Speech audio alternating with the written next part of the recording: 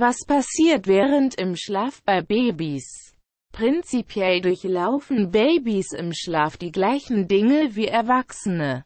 Jedoch brauchen Babys wesentlich mehr Schlaf als wir und das hat auch entsprechende Gründe.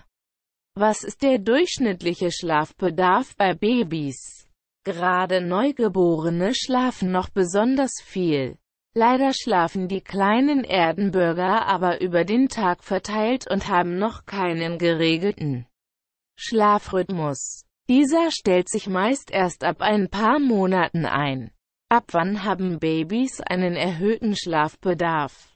Besonders während Wachstumsphasen brauchen Babys viel Schlaf. Nicht immer sind diese Phasen gut zu erkennen.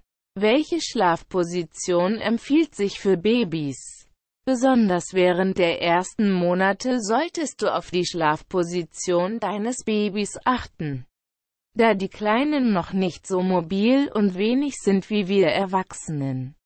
Sie befinden sich am Anfang ihrer Entwicklung und können sich beispielsweise noch nicht eigenständig umdrehen und rollen. Welchen Einfluss hat die Schlafumgebung auf mein Kind? Bereits während der Schwangerschaft lassen deine Hormone den Nestbauinstinkt freien Lauf.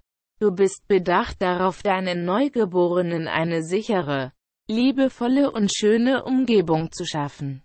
Ein behüteter Schlafplatz soll für die Kleinste für Entspannung sorgen. Wie wichtig sind feste Schlafzeiten?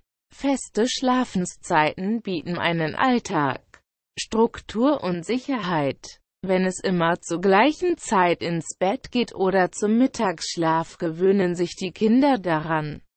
Und ein stetiger Rhythmus wird ihnen geboten.